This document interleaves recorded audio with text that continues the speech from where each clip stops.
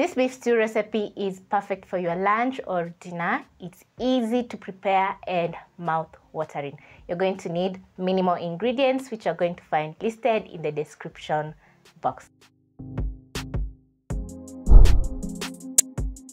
To get started, you'll need 500 grams of beef. So over here I have my beef and I'm going to be chopping up the beef into bite-sized pieces.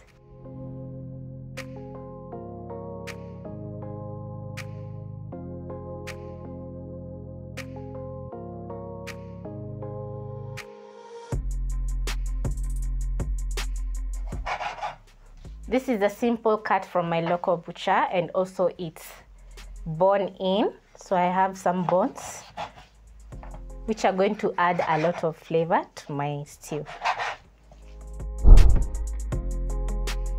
Once done chopping up your beef, you're going to need a pressure cooker to boil the meat. If you don't have a pressure cooker, you can use you can simply use a pot, but make sure to boil the meat until tender. Mine is ready over here, my, my pressure cooker. So I'm going to add in my meat, add in a cup of water, a little bit of salt, place the lid on my pressure cooker secure and boil for around three whistles until my beef is very tender. You're going to peel three carrots. Once done, you're going to chop up one end of your carrot just like this. Lay on the side that is flat and chop into strips. Once done, you're going to chop up the carrots into long strips just like this. After three whistles, my meat is tender. And I've already manually released the pressure from the pressure cooker. This is how my beef is looking like and it's cooked perfectly. So the next step is to cook my beef. So I'm going to place a pan over medium flame, add in some cooking oil, around two tablespoons of cooking oil. I'm going to add in one medium onion,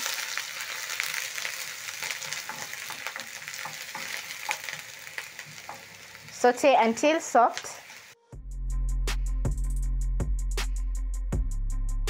Add in some crushed garlic and ginger. Saute for around 30 seconds until the garlic and ginger is fragrant. Once you notice the garlic and ginger browning, you're going to add in one diced tomato, Add in a splash of water so that the tomato can fully cook. I'm going to be adding in two spices. I have some paprika over here. I'm going to add in a teaspoon and some black pepper. I love black pepper.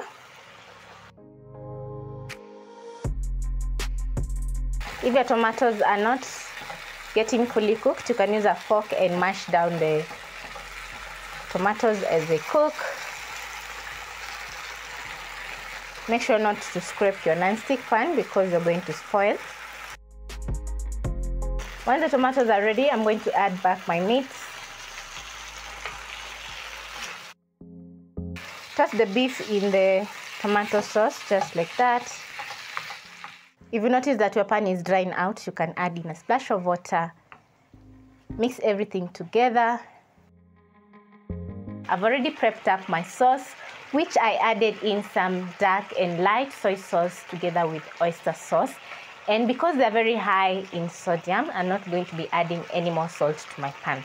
So I'm going to add in some balsamic vinegar to my pan, which is going to add a very nice flavor to our beef. Next, I'm going to add in my sauce.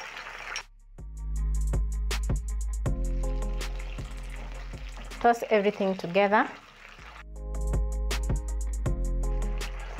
Add in my carrots.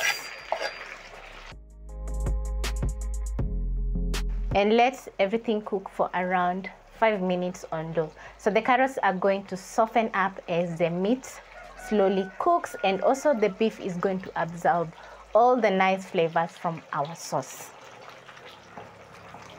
This is a very nice way that you can add some veggies to your beef stew.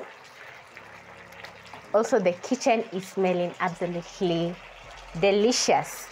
So I'm going to let my beef cook on low for five minutes. After five minutes, my beef stew is ready and it's looking so delicious. The kitchen is smelling so nice. And I love the pop of color that the carrots have added. The beef stew is best served over some rice, mashed potatoes, or even ugali. And trust me, once you try this recipe, it's going to be the best and it's going to be perfect. Thank you so much for watching and I hope I'll catch you on my next video.